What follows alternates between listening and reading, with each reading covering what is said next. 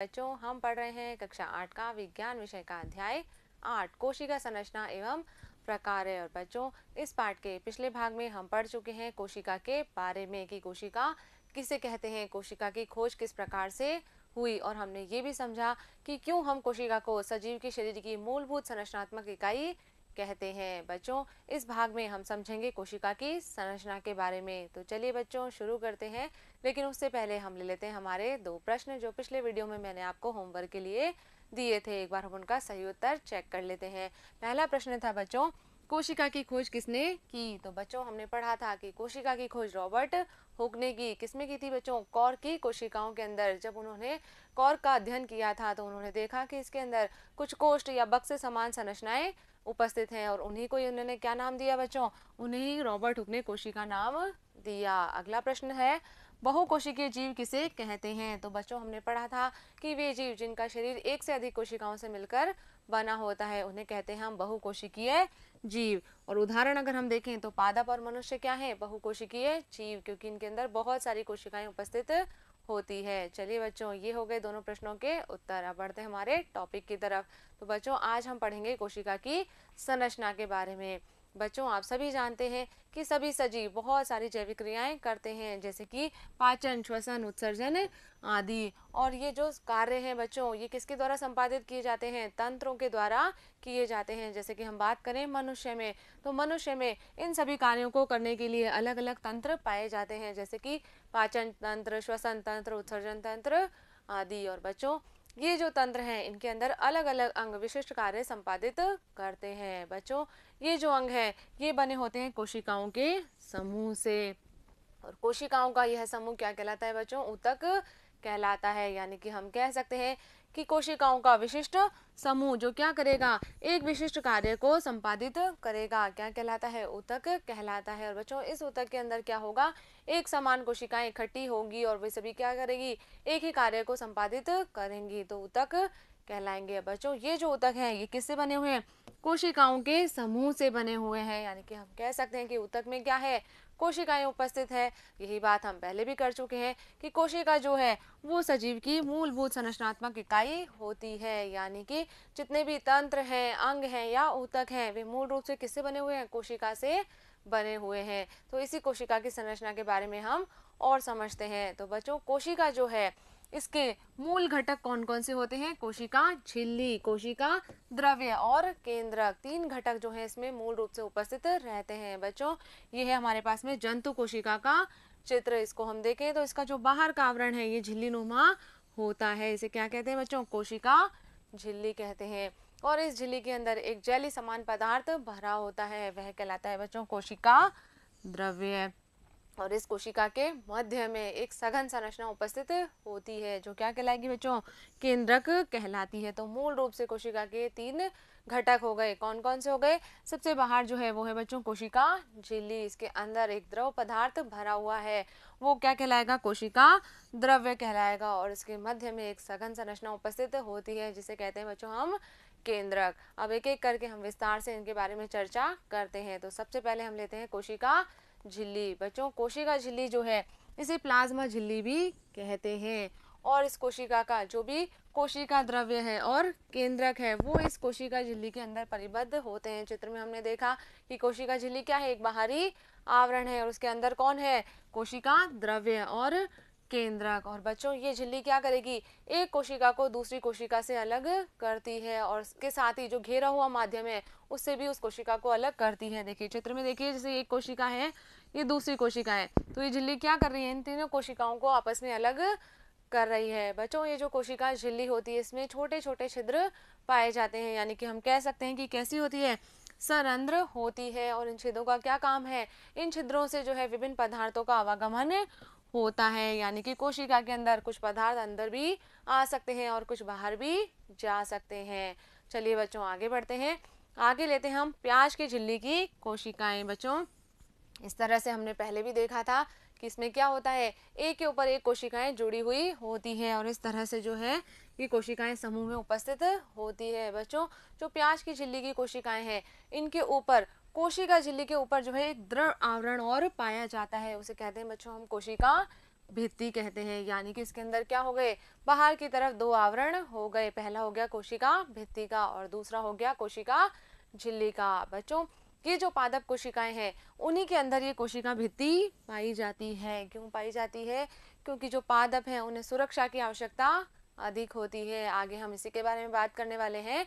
कि पादपों को जो है, वो कोशिका भित्ति की आवश्यकता क्यों होती है? बच्चों, हमने पढ़ा कि जो पादप कोशिका हैं, उनके अंदर एक अतिरिक्त संरचना भी उपस्थित होती है। कौन सी होती है? कोशिका भित्ति होती है। बच्चों, जो पौधे हैं, वो जलवायु परिवर्तनों से जो है, अधिक प्रभावित होते हैं। हमें पता है कि जैसे मान लीजिए, ताप में परिवर्तन हो रहा है या तीव्र गति से वायु चल रही है या फिर वायुमंडलीय नमी है तो ये सब परिवर्तन से पौधे अधिक प्रभावित होते हैं, क्योंकि बच्चों, हम तो क्या कर सकते हैं? गति कर सकते हैं तो हम चलकर जो है सुरक्षित स्थान तक पहुँच सकते हैं। लेकिन ये जो पादप हैं, ये चल नहीं सकते हैं और इसीलिए इन परिवर्तनों से ये अधिक प्रभावित होते हैं। इसीलिए क्या है बच्चों, इनके ऊपर सुरक्षा का एक अतिरिक्त आवरण है। कौन सा है बच्चों? कोशिका भित्ति। ये कोशिका भित्ति क्या करेगी? इनकी सुरक्षा करती है। इसीलिए ये जो कोशिका भित्ति है, ये पादप कोशिका में उपस्थित होती है, जबकि जंतु कोशिका में नहीं होती है। चलिए बच्चों, आगे बढ़ते हैं। नेक्स्ट है कोशिका द्रव्य। हम बात कर चुके हैं बच्चों, कोशिका द्रव्य क्या होता है? एक जैली समान पदार्थ होता है जो किसके अंदर परिबद्ध रहेगा? कोशिका झिल्ली के अंदर परिबद्ध रहता है। जैली जैसा पदार्थ है बच्चों, और क्या होगा ये? कोशिका झिल्ली और केंद्र के बीच में पाया जाएगा। चित्र में देखिए बच्चों, ये है मनुष्य की गाल की कोशिका। इनमें क्या है? बाहर की तरफ़ जो है, ये कोशिका झिल्ली है, और अंदर क्या है बच्चों? ये केंद्रक है। और इसके चारों और केंद्रक के चारों ये जो भी जली समान पदार्थ है, वो क्या है? कोशिका द्रव्य है। बच्चों, इस कोशिका द्रव्य के अंदर कोशिका के अन्य संगठक पदार्थ और बाकी के जो कोशिकांग हैं, जैसे कि माइटोकॉन्ड्रिया है गोल्जिकाय है, राइबोसोम आदि, ये सब कहाँ पाए जाएँगे? इस कोशिका द्रव्य के अंदर ही पाए जाते हैं। चलिए बच्चों, आगे बढ़ते हैं। नेक्स्ट है केंद्रक। तो बच्चों, ये जो केंद्रक है, ये सजीव कोशिका का सबसे महत्वपूर्ण संगठक होता है। यानी कि सबसे अधिक इम्पोर्टेंट क्या चीज़ है इस कोशिका में? ये केंद्रक है। बच्चों, अभी हमने चित्र में देखा कैसा था ये। केंद्रक जो है वो लगभग गोलाकार होता है और कोशिका के मध्य भाग में स्थित होता है। अभी हमने गाल की कोशिकाओं में देखा था इस तरह से कैसा है ये। गोलाकार है और कोशिका के मध्य में स्थित है और इसी के साथ साथ बच्चों, ये जो केंद्रक है, ये एक झिल्ली के द्वारा जो है कोशिका द्रव्य से अलग रहता है। यानी कि इस केंद्रक के ऊपर भी एक झिल्ली पाई जाती है। उसे कहते हैं बच्चों हम केंद्रक झिल्ली अथवा केंद्र का वरण केंद्र का आवरण क्या कहलाता है? केंद्रक झिल्ली कहलाता है बच्चों। ये जो केंद्रक झिल्ली है, ये भी सरंध्र होती है, यानी कि इसमें भी क्या है? छोटे छोटे छिद्र पाए जाते हैं और ये क्या करेंगे? कोशिका द्रव्य और केंद्रक के बीच में पदार्थों के आवागमन को नियंत्रित करते हैं। तो बच्चों, हम कह सकते हैं कि कोशिका झिल्ली भी कैसी है? सरंध्र है और केंद्रक झिल्ली भी कैसी है? सरंध्र होती है। चलिए आगे बढ़ते हैं बच्चों। ये जो केंद्रक है, इसके अंदर बच्चों छोटी सघन संरचना उपस्थित होती है, उसे कहते हैं बच्चों हम केंद्रिका या न्यूक्लियोलस इसे कहते हैं। हिंदी में हम इसे कहते हैं केंद्रिका और अंग्रेज़ी में हम कहते हैं इसे न्यूक्लियोलस। और इसके अलावा केंद्र के अंदर कुछ धागे नुमा संरचनाएँ भी पाई जाती है, उन्हें कहते हैं बच्चों हम गुणसूत्र या क्रोमोसोम। कहते हैं, बच्चों, ये जो गुणसूत्र होते हैं, ये जीन के धारक होते हैं और ये जीन क्या करते हैं? आनुवंशिक सूचनाओं को एक पीढ़ी से दूसरी पीढ़ी में स्थानांतरित करते हैं। यानी कि इन आनुवंशिक सूचनाओं की वंशागति कौन कर रहा है यहाँ पर? ये गुणसूत्र कर रहे हैं, जिनके अंदर क्या है? जीन उपस्थित हैं। तो बच्चों, ये जो गुणसूत्र होते हैं, ये आनुवंशिक गुणों अथवा लक्षणों को कहाँ पहुँचाएँगे? जनक से अगली पीढ़ी में पहुँचाते हैं। यानी कि ये स्थानांतरित करते हैं लक्षणों या गुणों को बच्चों ये जो गुणसूत्र होते हैं, ये सामान्य परिस्थिति में हमें दिखाई नहीं देंगे, लेकिन कोशिका विभाजन के समय गुणसूत्र दिखाई देते हैं। चलिए बच्चों, आगे हम समझते हैं जीन के बारे में। बच्चों, जीन क्या है? जीन सजीव में आनुवांशिकी की इकाई है, यानी कि आनुवांशिक गुणों को वंशागत कौन करेगा? ये जीन करेंगे। जीन क्या करते हैं? जनक से संतति को आनुवांशिक लक्षणों का स्थानांतरण करते हैं, यानी कि हम कह सकते हैं बच्चों कि हमारे अंदर जो गुण हैं, ये हमारे माता पिता के लक्षण हमें प्राप्त हुए हैं। यानी कि क्या हुआ? हमारे माता पिता से ये जो लक्षण है, ये इन जीन के द्वारा हम तक पहुँच गए हैं। यानी कि हमारे जनक से हम संतति के अंदर ये गुण पहुँच गए हैं। जैसे कि उदाहरण देखें बच्चों तो हमारी आँखों का भूरा या काला होना या फिर बालों का घुंघराला होना, ये लक्षण हमें कहाँ से मिले हैं? हमारे माता पिता से मिले हैं। चलिए बच्चों, आगे बढ़ते हैं। आगे है कि सजीव कोशिका का जो समग्र संगठक है, इसे कहते हैं बच्चों हम जीव द्रव्य या प्रोटोप्लाज्म कहते हैं। और इस जीव द्रव्य के अंदर कोशिका द्रव्य और केंद्रक द्रव्य दोनों को सम्मिलित किया गया है। किस किस को बच्चों? कोशिका द्रव्य को और केंद्रक द्रव्य को। और ये जो जीव द्रव्य है बच्चों, ये कोशिका का जीवित पदार्थ भी कहलाता है। बच्चों, अभी हमने समझा केंद्रक के बारे में। तो कुछ कोशिकाओं के अंदर केंद्रक जो है वो सुसंगठित पाया जाता है, उसके ऊपर एक झिल्ली नुमा आवरण पाया जाता है, जबकि बच्चों कुछ कोशिकाओं के अंदर केंद्रक जो है वो सुसंगठित नहीं होता है और झिल्ली भी उनमें अनुपस्थित होती है। इसी के आधार पर कोशिकाओं को और जीवों को दो भागों में बांटा गया है। कौन कौन से भाग है बच्चों? ये है प्रोकेरियोट और यूकेरियोट कोशिका। बच्चों, जैसे कि हम जीवाणु कोशिका की अगर बात करें तो इनके अंदर जो केंद्रक है वो सुसंगठित नहीं होता है।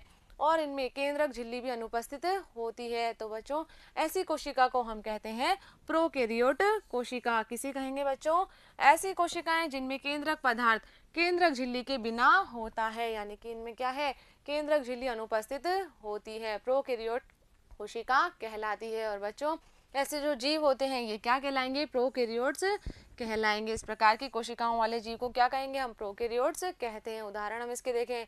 तो उदाहरण हो जाएँगे बच्चे, जीवाणु और नीलहरित शैवाल। इनके अंदर जो है सुसंगठित केंद्रक नहीं पाया जाता है। जबकि बच्चों, कुछ कोशिकाएँ कैसी है जिनमें सुसंगठित केंद्रक उपस्थित है और इसके ऊपर केंद्रक झिल्ली भी होती है। तो क्या कहेंगे बच्चों? इन्हें हम कहते हैं यूकेरियोटिक कोशिकाएँ। ऐसी कोशिकाएँ जिनमें झिल्ली युक्त सुसंगठित केंद्रक पाया जाता है। यूकेरियोट कोशिका कहलाती है। और बच्चों, ऐसे जीव क्या कहलाते हैं? यूकेरियोट्स कहलाते हैं। उदाहरण हम इसके देखें।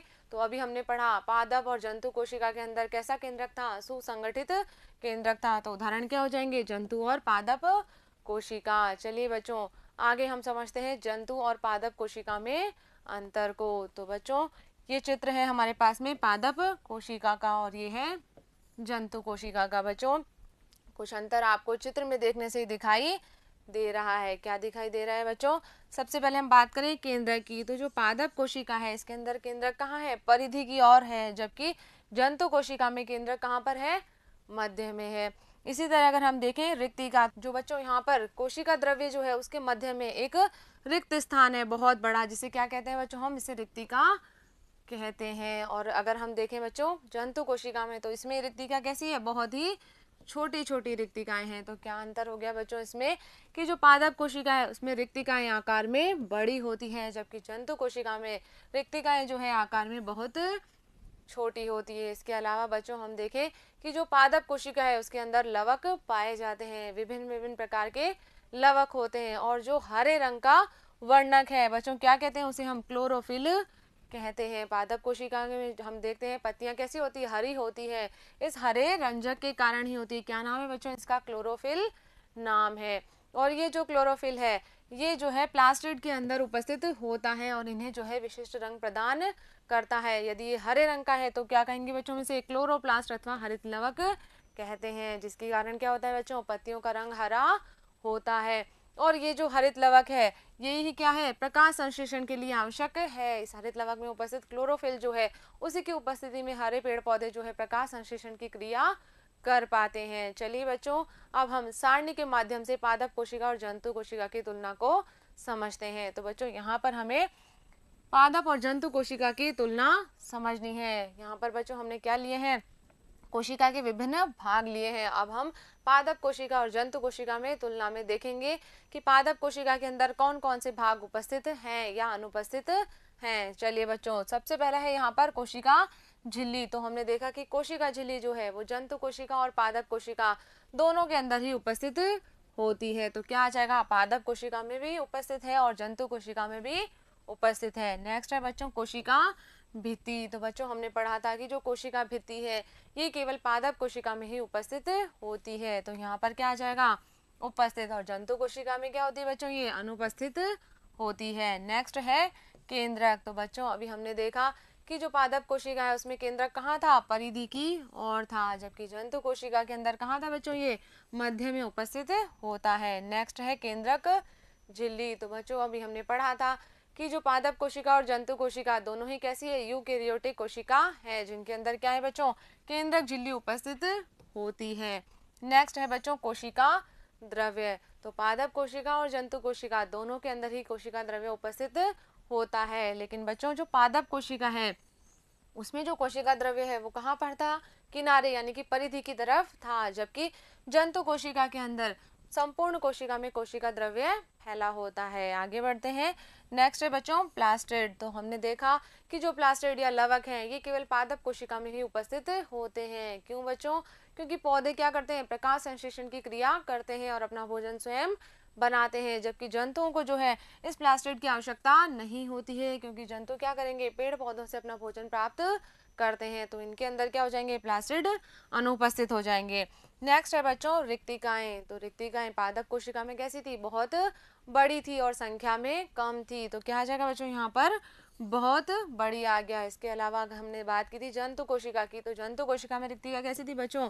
छोटी थी और संख्या में अधिक थी। तो ये हो गए बच्चों पादप कोशिका और जंतु कोशिका में अंतर। और इसी के साथ में बच्चों हमारा ये भाग भी यहाँ पर कंप्लीट हो गया है। मिलेंगे हम अगले वीडियो में इस पाठ के अभ्यास प्रश्नों के साथ, तब तक आप पढ़ते रहिए, आगे बढ़ते रहिए। धन्यवाद।